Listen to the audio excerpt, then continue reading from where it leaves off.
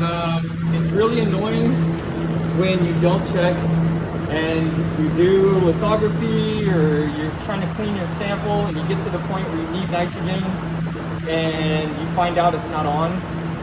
It really sucks because for example if you if you like drench your sample with acetone and you don't dry it right away, it'll evaporate on your sample and that will actually cause dust and other things to accumulate there and you'll have this really weird pattern and you're gonna have to re-clean it. So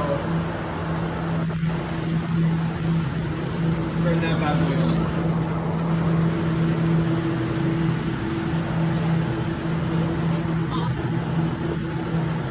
Turned this one on too.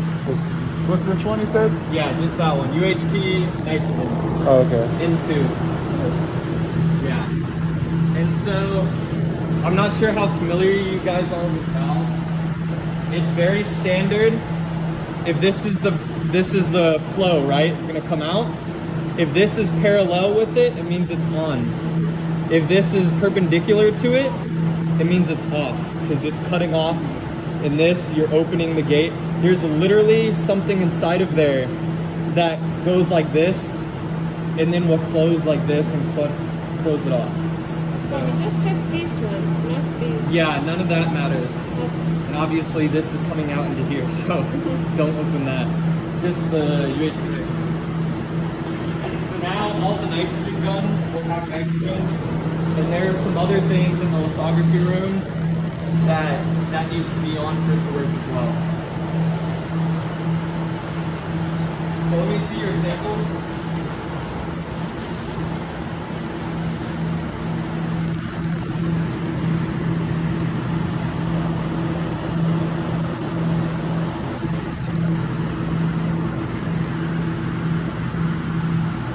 Okay. I don't know how well it's gonna work, but let's do it. This one is positive, this is negative, yeah? Are you doing liftoff? Are you depositing chromium on all of these? Just the negative samples? We're not sure. We just made those, but they didn't tell us what we're gonna do with it. We like you can take them now that we're done with them. Oh, okay, so you just did like to practice positive and to practice Yeah. negative, right? Okay, so we'll just take the negatives. Okay. Positives don't do anything. Um, yeah, I can see.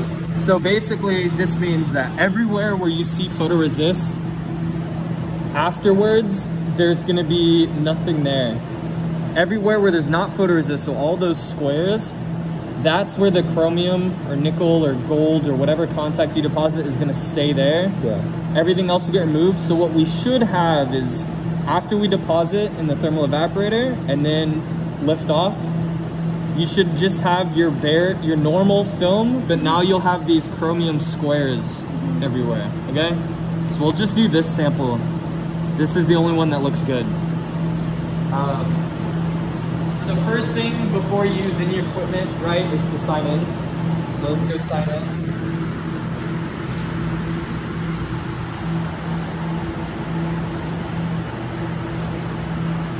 So it's the IC class. Do you remember what the password is? It's like one, two, two, three, three, four, four, five.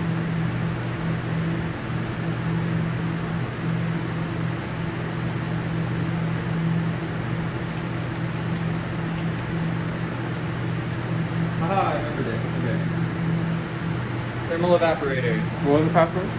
One one two two three three four four five. Okay. Okay. So now that we've signed into the thermal evaporator, everything should work. So right now this chamber is vented. I mean is uh pumped. So I can't open this. And there's nothing actually stopping me from open the, opening this. There's no locking mechanism. It's simply that the inside of this chamber is uh, so low pressure, it's under a vacuum, that all the air in this room is forcing this shut, and it's stronger than I am. I can't open it without breaking this handle. So you click here, it's all automated, I love it. You click recipe, and it only has two options. You either pump down or you vent. It's already pumped down, we want to vent it, right? So you just click vent. Now, this shows you what the current pressure is in there. It's 2 to the minus 2 torr. Now you can see it's increasing. So what it did was now it's flooding it with nitrogen. And that nitrogen is building up pressure in here until eventually it will equal out here. In which case this will turn green and say done and you can open the door. So we just wait.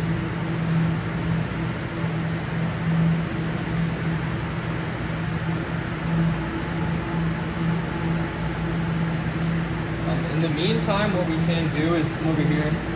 So this is the control panel for your actual growth.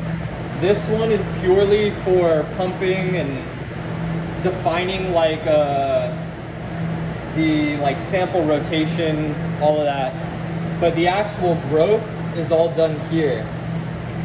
So I'm gonna this these but it's not touchscreen, it's just these buttons. Next menu. So here, process menu and film menu are the ones that you care about. Film menu shows all the current like film conditions that exist. We have copper, chromium, nickel, titanium, another form of titanium, aluminum, gold, nickel, chromium, chromium uh, palladium, I think. I'm bad at chemistry. Anywho, and then you can always make more if you have other materials. Oh, you hear that click? That means it's done. So you just click done. Now you can open it. So here it's pretty obvious. This one is copper. You can see that it looks like copper. This second slot that's empty right now, this is reserved for gold. And it's empty because that's most of these ones we just let people use for free. Gold is expensive, so we make people bring their own gold and put in the boat. So the way that the thermal evaporator works is you have these two leads. Let me actually, so if you click department, click this button, that opens this. It's uh, going very slowly right now, kind of anticlimactic, but boom, there it goes. Okay, so this is copper, this is gold. So the way it works is these boats sit, we call them boats, sit here between these two leads and the material just sits in the middle. Now a clean boat there are different boats for different materials. They have like different resistances because every material evaporates at a different temperature. So this utilizes resistive heating to heat the boat up and then the material that's inside will melt and then eventually start evaporating once it heats up high enough. And the way it heats up, like I said, is resistive heating, so it literally just runs a current, a really high current through from one end to the other and this is the power supply here and you'll see this is voltage current and it'll this will automatically change the voltage and current to get the right power to uh, evaporate however much you want to grow and back here is a uh, quartz monitor it's literally just a little thin quartz crystal and this apparatus is measuring its resonant frequency so as you deposit, your material is going to coat that quartz crystal and it's going to dampen its uh, resonant frequency. It's going to lower it. And the rate that that uh, resonant frequency lowers can be directly extrapolated to the amount of material that is depositing. So that tells you the growth rate. So you can define, okay, I want to grow one nanometer per uh, second or something like that, or I want to grow one micrometer per hour. And you can tell it what material you're growing, and it'll just use basic equations. Okay, if you're using gold, gold has a certain atomic mass and a certain amount of mass that is dampening the quartz crystal will dampen its resonant frequency by a certain amount. So it's actually very accurate if you calibrate it correctly. Anyways, that's how it works. I actually forget which one is chromium. Um, assuming one of them even is chromium. I think this one is titanium out here. Which leads me to believe it's this here. Now, we don't necessarily have to grow chromium. That's just what Dr. Shi said. We can grow copper, we can grow titanium, we can grow chromium. This isn't a real device. We're just gonna grow something and then lift it off, okay? So maybe let's just use copper because I know that that's copper. It's the easiest to identify, okay? So the way that you mount your sample is take this off. It has this slot and these two holes that you just stick it in like that. And we're gonna put it on here. You can see this is gold because I guess the last person deposited deposited gold. Yeah, you can see this window is all gold. So let's go ahead and put your sample on here. So you have different options when you mount your sample. You can mount it on this plate, this extender, or you can take this off and just mount it here. There are pros and cons to doing that. If you mount it with the extender, that means it's closer to the uh, source, which means it'll grow faster. So you can evaporate at a lower power and grow at the same speed. The benefit of that being you don't waste as much material. So for example, with gold, that is really beneficial. However, there is a downside. The downside is because your sample is closer to the material, it may heat up because that boat gets really freaking hot. You'll see it. It's gonna be glowing like bright orange. It actually will hurt to look at with your eyes. And that gets so hot that it can heat up your sample. And if your sample is susceptible to damage, thermal damage, obviously that's a no-go. Sometimes with photoresist, your photoresist, if it gets too hot, can harden and it can make it really difficult to remove. Then you can't lift off properly. That's actually an issue I've been running into. And so I, now, I no longer use this. We're gonna go ahead and use it for this. Um, and we'll see what happens with the lift-off process. So for your sample mounting, there's also a couple options. You can use this. You just put your sample underneath it and then tighten it and that'll hold it there. Or you can use tape. Either way.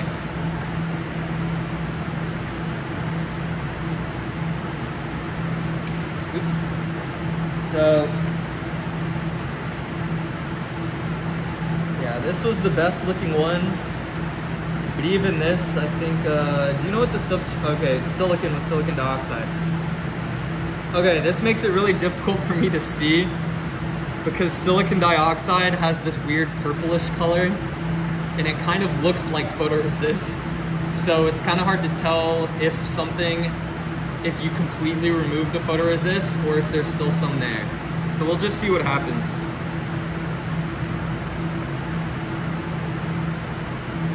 So just make sure that the clamp isn't touching your pattern. So I'm putting it here where there's no pattern.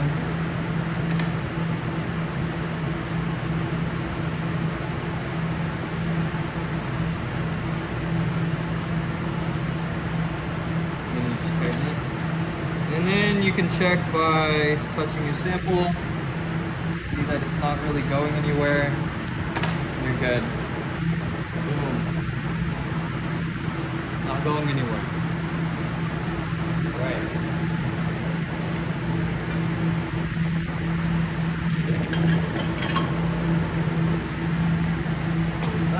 All right, so another thing is because copper is all the way out here, because we're using the extender, the deposition rate might be a little weird.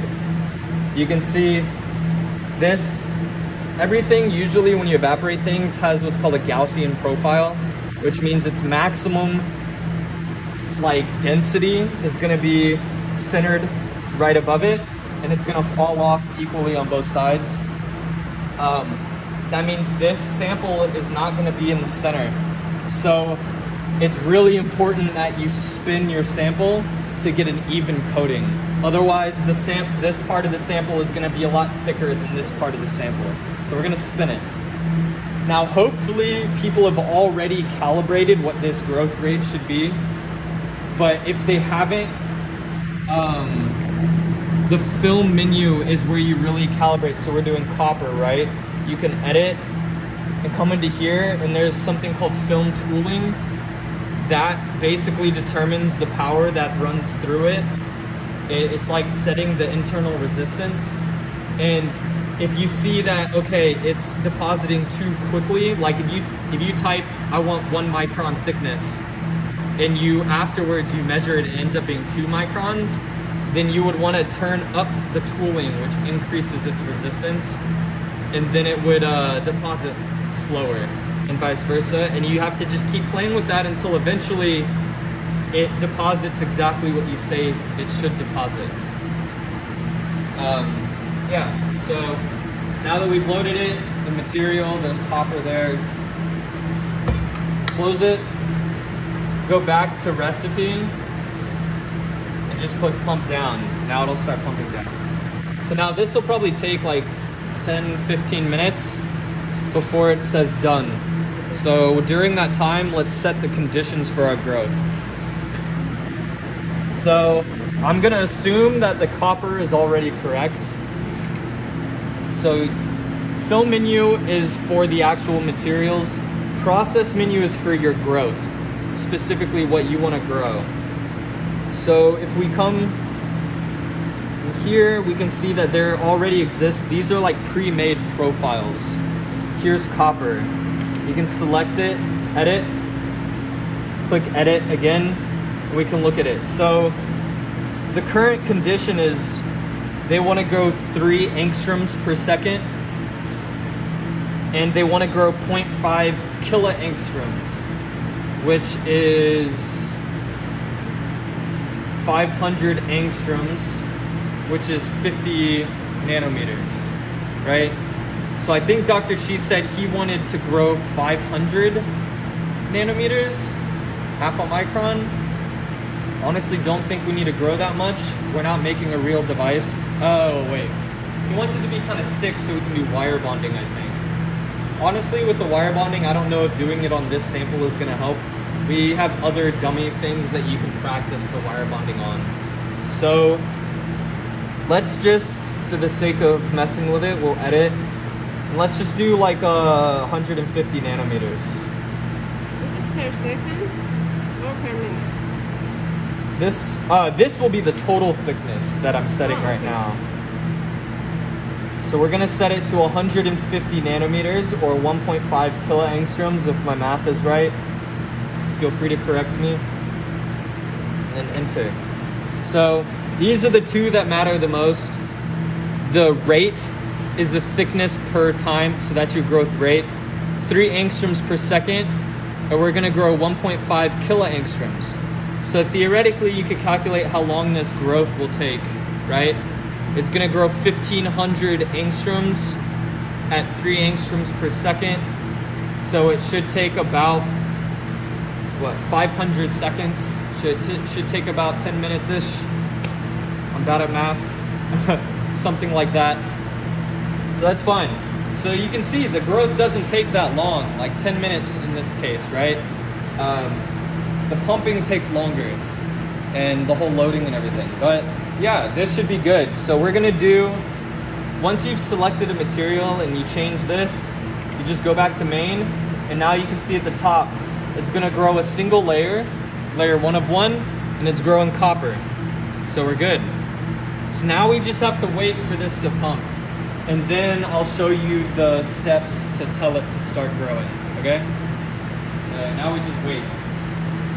Oh, and here you can always check on the, uh, look at this, it's at zero torr, 0.9 torr, it's gonna drop. Right now, this is using the rough pump. Um, and you can actually see the rough is highlighted right now. Do you all, have y'all learned uh, pumping stages for vacuums? Okay, so you know, in atmosphere like air, there's a lot of stuff in our air, right? There's a lot of particles. Um, now, if you want to pump down a chamber to say like 10 to the minus 5, like in 10 orders of magnitude from normal air, there's not a single pump in the world that can do it by itself. you have to have stages of pumps. So the very first stage, the pump that's really good at removing large amounts uh, and making it into a fairly small amount, is called a rough pump. There are different types of rough pumps, mechanical pumps, whatever, uh, oil, uh, oil-free pumps, doesn't matter. So the rough pump will pump this down to a certain, like, relatively decent level. Then once that level is reached, it can switch over to the turbo pump, what it literally just did right now as I was talking. Now that turbo pump is like a jet engine. It has these fans that this this rotary that spins really fast. And that and it's a bunch of alternating blades that are spinning that suck the air in and expel it out. Now, the reason you can't just turn on a turbo is because those blades, if there's too much material, will damage the blades and it'll go crazy and it can blow up. so, you know what I mean? So that's why the rough pump first reduces the number of particles in the air to an acceptable level. Then the turbo pump can take over and it's even more efficient at pumping and it'll take what is left and pump most of that out. And for most uh, applications, like in the thermal evaporator, that's enough. The turbo can get it down to a pretty decent level. There are some machines like the, the molecular beam epitaxy out outside the clean room in the, I don't know if y'all seen it in that big room. That one takes it a step further and there's a third pump called an ion pump that uses a giant magnet and like ionizes anything that comes in it and has a really strong electric field and directs it into this like titanium or lead plate and it just embeds it in there. And that can get it down even further to actually almost equivalent to the vacuum in deep space. Like actually my MBE chamber can reach a better vacuum inside of it than exists outside the International Space Station. Like if you were to open the door and step out outside the space station, it would be a worse vacuum than what's in my chamber. So, um, yeah, those are the different stages of pumps. So, yeah, now it says, so first it said turbo, and now it says at speed. Again, like I said, the turbo is a giant, like, jet engine type thing that's spinning. So when you first, when it first turns on, it's not spinning at full speed. It doesn't just go from zero to 100. It has to spin and slowly start spinning faster and faster and faster. So it takes a couple minutes for it to start fully pumping. So now it says it's at speed. Now it's pumping really fast. Now if you look at the vacuum, it's already 10 to the minus 4 torr. Now it's 10 to the minus 5. Before it turned on, the rough pump is only able to achieve like zero torr, like 10 to the 0 or 10 to the 1. So the uh, turbo is able to get it down to 10 to the minus 5 torr. To put in perspective, I think atmosphere is like 10 to the 3 torr, 10 to the plus 3. So this is, you know, eight orders of magnitude lower than here, which lets you see why I couldn't open this door. Because literally, yeah, the pressure difference is like crazy. I think, and you could probably calculate based off the size of this door, the cross-sectional area, how many molecules are hitting it, bombarding against it. Uh, will tell you how much force is on this door. The strongest man in the world could not open it. Uh, a gorilla can't open it. It's way too strong. It's like being in the bottom of the ocean, you know? That's how much force is on it. So it's almost done. I believe it usually either gets to low 10 to the minus 5 or 10 to the minus 6, and then that'll turn green. Uh, but it's really just a waiting game.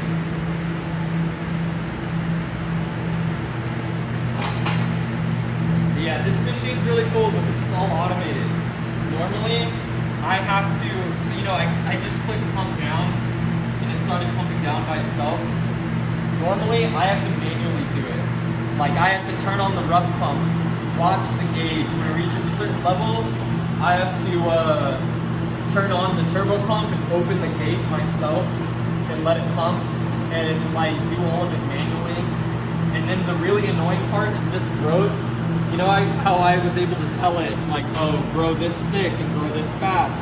And this will automatically adjust the power and show this graph and it'll automatically tune everything. Normally, I have to do that all by myself. I have to sit here and turn up the voltage and turn up the current and watch the quartz monitor myself and like play with it and keep adjusting it and watch the vacuum and like do all of it manually and then sit there for a couple hours while it grows and then turn it off at the right time so I don't grow too thick. But this does everything for you. Power supply. Then you come to substrate, click motor rotate, and then if you click that 0% per second, it'll bring up this menu. And you want to put in uh, 50. So it'll spin at 50% like its speed. So that's the sample rotation. Then you come to department, you just click FTC on, uh, PWS 1 on, that's it. Now you can see the numbers there. Now as long as this is correct, just click start. Also, I forgot to do one thing, which is kind of unfortunate, which was clean this window. So we most likely aren't going to be able to see anything, but it is what it is. Anywho, so it's going to slowly start ramping up the power. And this graph right here, I think is showing power versus time. So it's showing an increase. At some point, you'll hear a pop, and that's uh, it opening the uh, thing to actually start depositing. Uh, but yeah, anyways, now we really just wait. It'll ramp up to the full speed, pop, it'll start growing. Like I said, based off my calculations, it should take 500 seconds, roughly. So once it starts growing,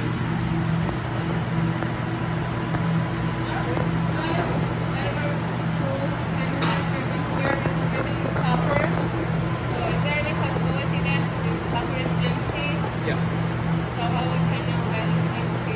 Well, you can see it. Uh, also, this, it'll once it starts growing, it'll show you the growth rate. And if the power continues to increase, but the growth rate keeps going down, you know you're running out. And then uh, it'll start. If you run out, the power will try to increase to get to grow more, but since there's nothing there, it won't grow. And it'll eventually reach maximum power, and you'll start hearing the beep, beep, and you'll see a thing that says maximum power reached. In which case, you just have to click that stop here and vent the chamber and fill the water. So usually you want to check beforehand that you can see in the crucible, you saw that copper that was in there. You just want to make sure there's enough in there.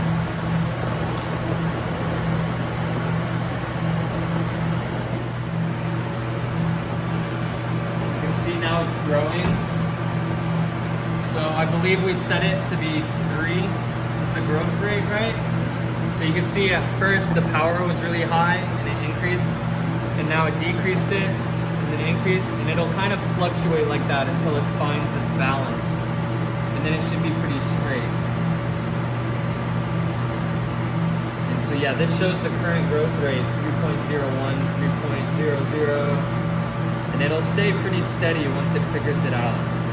And this shows you the total thickness that has been grown so far. So again, this is measured in kiloangstroms. And if you remember, we're gonna grow 1.5 kiloangstroms. So yeah, shouldn't take too long.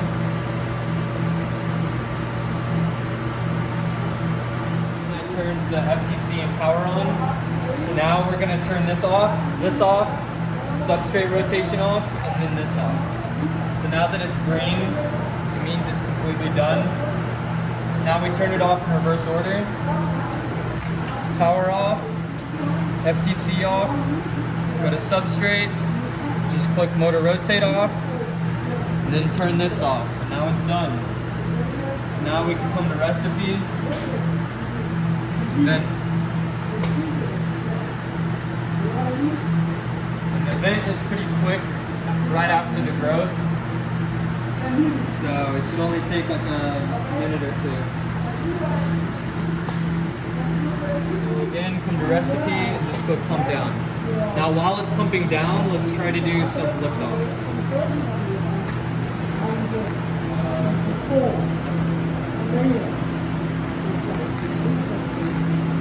Stay right here. What acetone does is it completely breaks apart the like molecular structure of the photoresist, thereby removing it. And anything that's on top of it will be removed with it. So, for example, I'll actually just demonstrate on a different piece. Does this have photoresist on it? I don't think so. It's just the two. Just these two? Yes. Okay, let me do it on the positive. Uh, okay. Because these don't matter. Whether it's positive or negative doesn't matter. Acetone will remove it. So, look at it.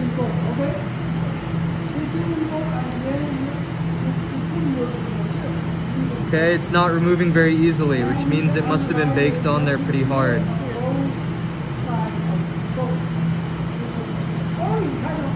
Yeah, that's not going anywhere. Oh wait, did y'all etch? You did? Yeah. You did etching? Okay, that's why.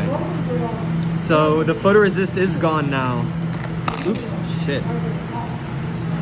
That was an accident. Uh, that just ate away the plastic.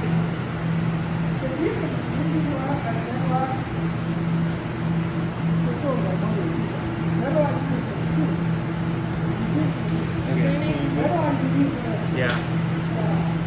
Okay, those samples don't matter, so it's fine.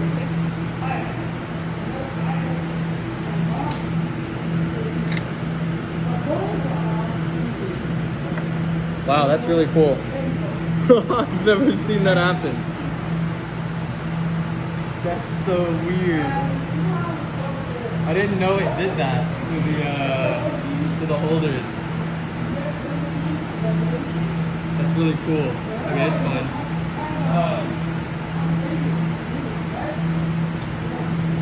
So yeah, now this sample. Do you know what material it was that you etched? So what was there? Uh, I. Um, come with me.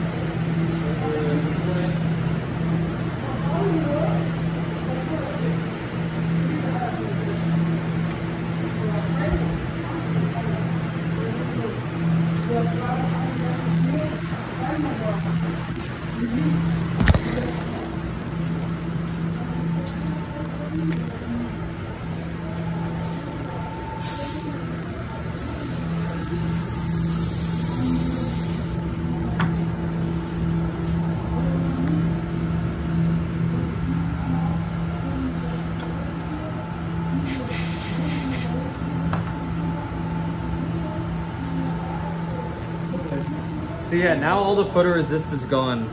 And that's just silicon dioxide and then I guess you just etched some of the silicon dioxide away. Interesting. Anyways, all the photoresist is gone. So let's see about the liftoff.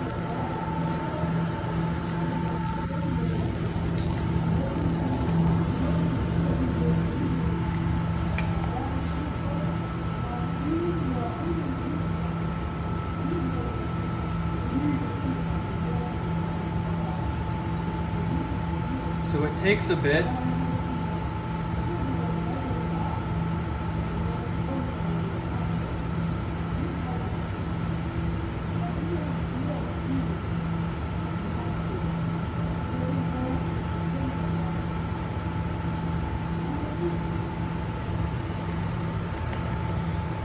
Get a better light in here so you can actually see it. Okay, let's uh, take this into the lithography room. so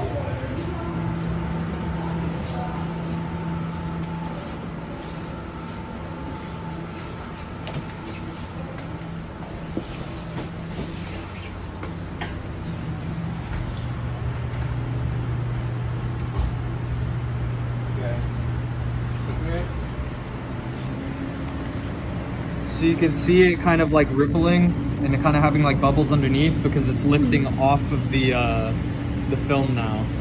So it'll slowly start to come off. So things you can do to make it a little quicker is just kind of agitate it a little bit. And another thing that I like to do is actually just spray it and the uh, the tension of the acetone hitting it can like knock some of it off like you see. And it'll start to slowly peel away. Like that. And then the last thing you can do on normal devices, I don't advise doing it very often unless you really have to, is to put it in the sonicator and just, you don't actually put it in it, hold it and just burn, burn for like a second. And that will like break up the, uh, the film. So we can just try that because this doesn't, it, worst case scenario, we ruin it, it's whatever.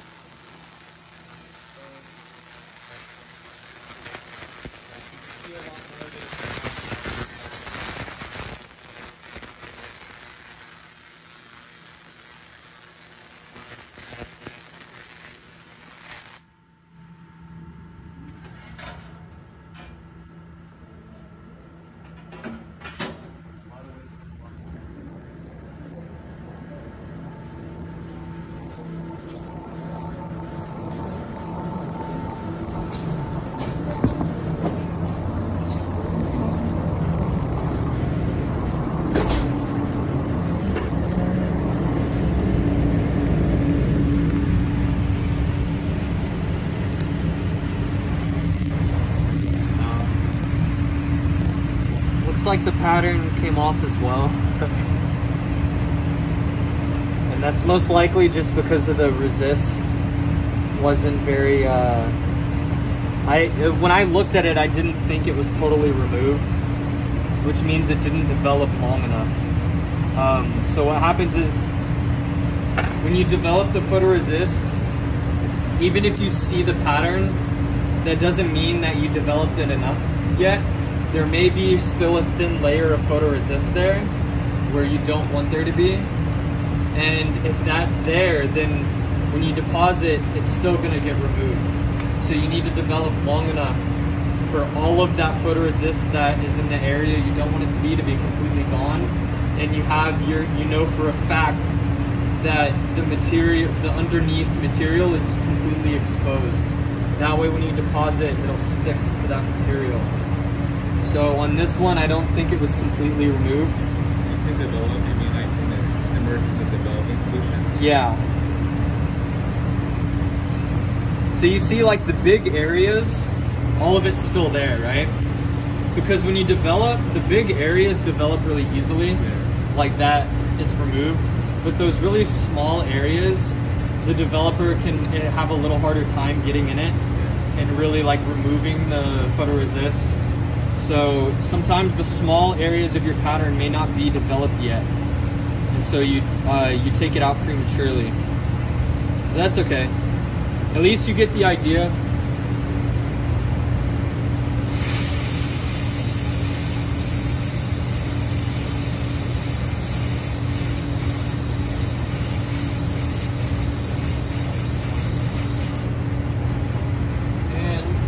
Yeah, I mean that's the basic process.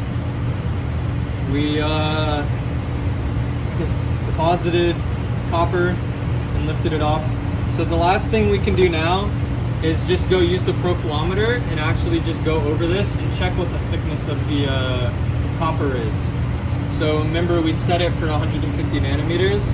So let's go see if it actually deposited 150 nanometers or was it different? Film is perfectly like right there along the line. Because that was the edge of the pattern. So that pattern was like a square, and uh, this is all outside of it. So all of that photoresist was gone out here. Um, just set it here for a sec while I dispose of the acetone. This is like the waste bucket.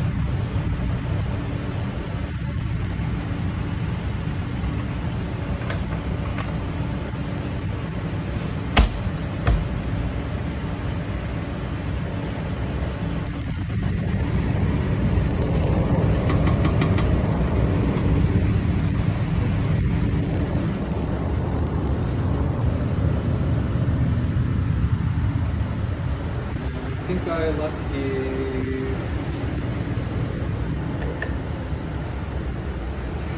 Alright, so let's just go measure with the profilometer and then we'll be done. So, you know, I left that other sample with you guys. The you have another one that's negative resist with a pattern on it. So whenever you guys want, I'm you can come in and try to do it yourself. You know, do a thermal deposition and do the liftoff thing and then measure the thickness afterwards. Uh,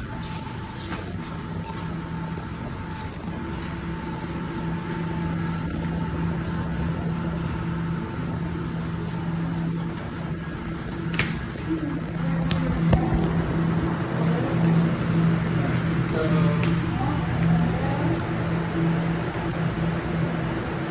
this is almost done, but it's not done yet.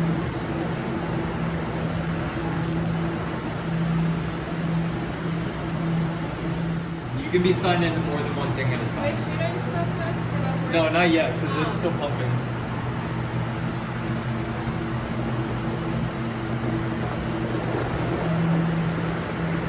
So you can see it's only been an hour and two minutes. Even with all the teaching, it only took us one hour. So that other guy was there for an hour and a half. Unless he was growing something really thick, which you usually aren't, he must have encountered some issues. Like I said, normally it takes me 50 minutes to do it. Um, so I'm just gonna really quickly measure this and we can see what the uh, growth rate is.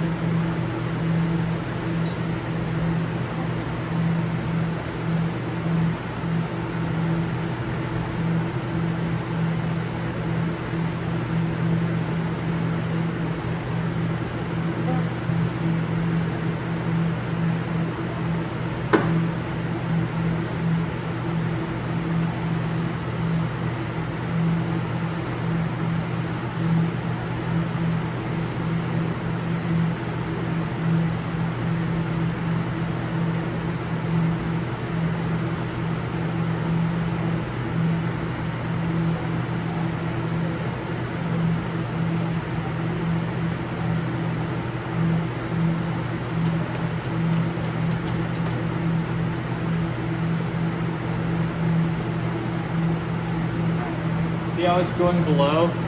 We're gonna have to redo it.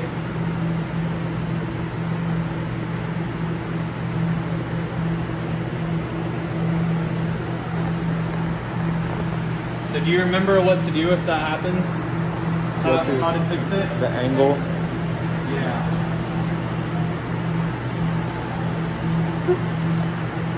So I'm just gonna push it a bunch that way. We'll see if that fixed it. If it made it worse, then you know to go the other way.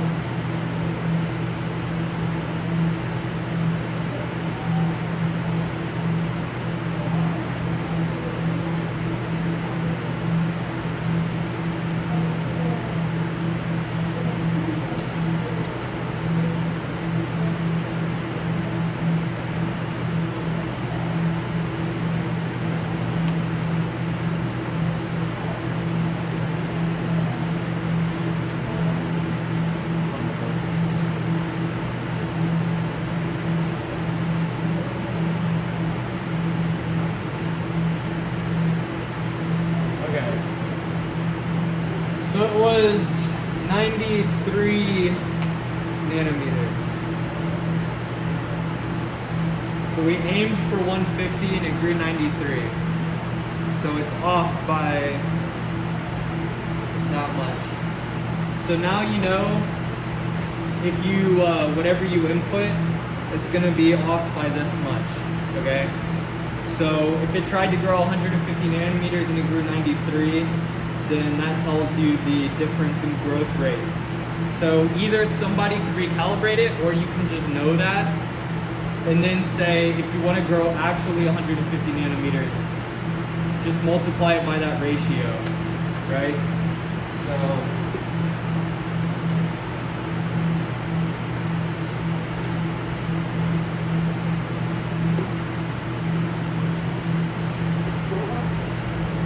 Fifty divided by ninety-three.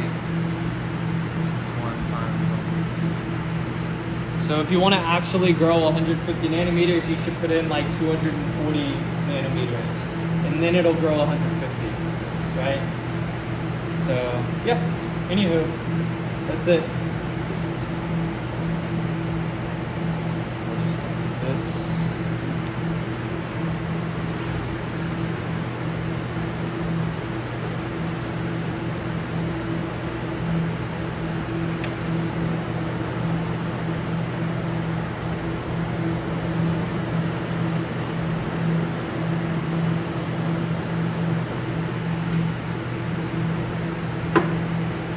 All right, and now this is done.